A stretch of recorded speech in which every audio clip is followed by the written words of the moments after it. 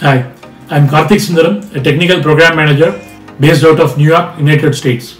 Given my cloud experience, my expectations were quite high while choosing an AWS training provider, and one of my friend recommended Whizlabs. I chose Whizlabs for their comprehensive set of practice exams, online training videos, and uh, lab exercises. Most importantly, their practice exams questions were based on real-time uh, scenarios, which will be the typical questions that you can encounter in the certification.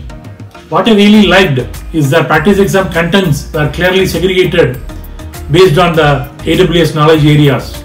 So every time you take a test, the exam results point you the areas that you need to revisit.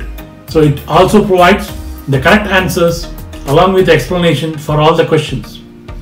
If you are aspiring to get certified on AWS, I would suggest that you watch all the training videos, complete all the lab exercises, and take the all the seven practice full-length practice exams uh, before the actual certification.